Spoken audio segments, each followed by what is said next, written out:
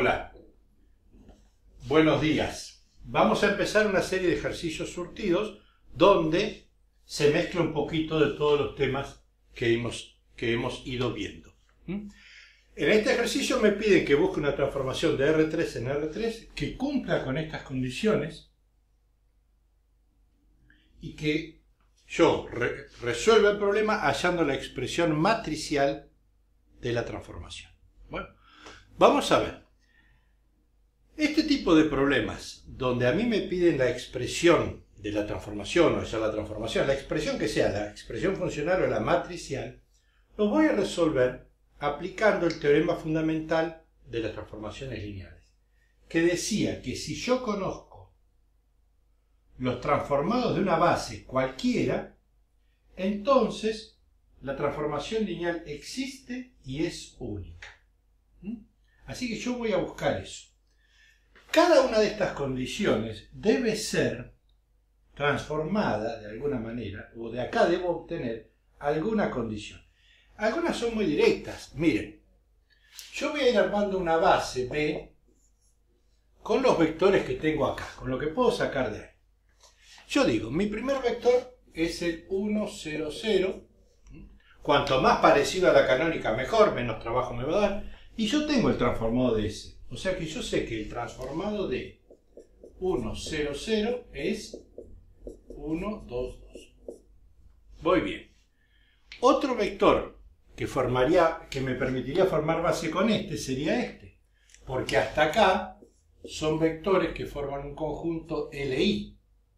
Entonces el transformado de 0, 0, 1, yo sé que es si esto pertenece al núcleo, su transformado, ¿cuánto tiene que ser? 0, 0, 0.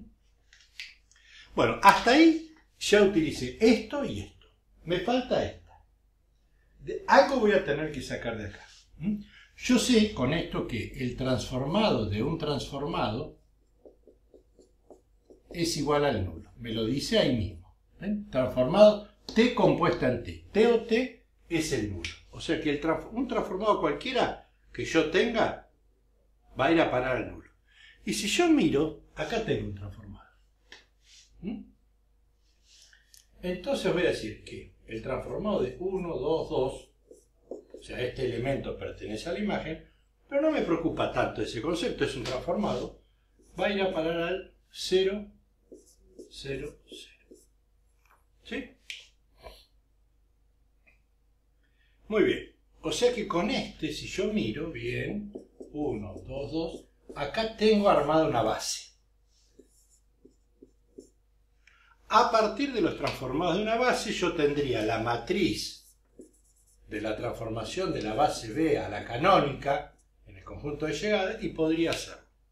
No lo voy a hacer así, lo voy a hacer de otra manera. Voy a buscar el canónico que es 0, 1, 0, que es muy fácil hacerlo en base a estos. Miren cómo hago. Yo necesito el transformado de 0, 1, 0. Esto es mi incógnita. Entonces voy a buscar este vector armado con estos. Digo, tomo el 1, 2, 2 y le resto el 1, 0, 0. ¿Qué me queda? 2, 2 menos 0 y 0 me queda 2, 2, 0, 2, 2. Lo divido por 2 y me queda hasta acá 0, 1, 1. Si a eso le resto 0, 0, 1, el resultado va a ser 0, 1, 0. A esta altura del partido debieran poder hacer esto sin mayores inconvenientes. Es la forma más ágil. Si no, lo plantean como coordenadas, como hemos visto en otros ejercicios. Vamos a seguirlo así distribuyo este 2 para que me quede como un escalar por un vector más otro escalar por otro vector.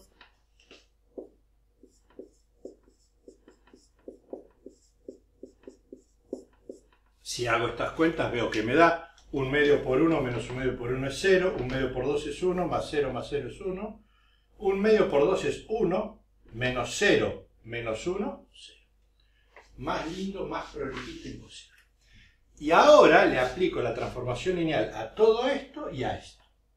Quiere decir que si yo le aplico la transformación lineal a esto, es aplicando las propiedades, es la suma o diferencia de transformaciones lineales, y tomo cada escalar, cada escalar perdón, y lo multiplico por las transformaciones. Los transformados, perdón. Es como meter el transformado en cada uno de estos. Bueno, ¿qué me queda ahora? El transformado de 1, 2, 2 es el 0, 0. Esto desaparece. El transformado de 1, 0, 0. 1, 0, 0. Menos 1 medio por 1, 2, 2.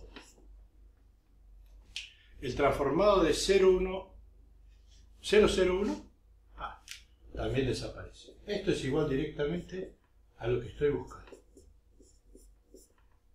O sea que este es menos un medio por 1, menos un medio.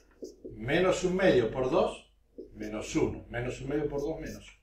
Ya tengo el transformado de este, del tercero y del primero de la base canónica. Bueno, ahora tengo que resolverlo. Voy a decir que la matriz de la transformación es el transformado del 1, 0, 0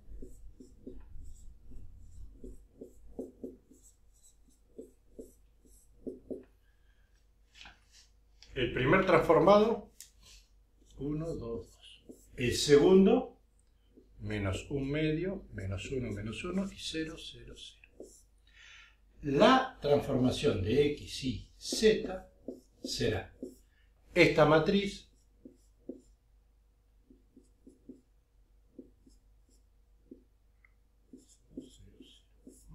por X y Z. Si quieren verificar ustedes que se cumple con esto, se los dejo. Voy a escribir acá la expresión t de x y z. Sería x menos y sobre 2, 2x menos y, 2x menos y. Con esto es muy fácil verificar que se cumple esto pongo 0, 0, 0 y 0, 0, ya da, pertenece al núcleo. Verificar esto otro también da. Podría ser una cosa para verificar esta situación. Ver que la matriz de la transformación por sí misma me da 0. Esa se la dejo a ustedes, da 0, ¿eh? no se preocupen. Bueno, hasta el próximo ejercicio.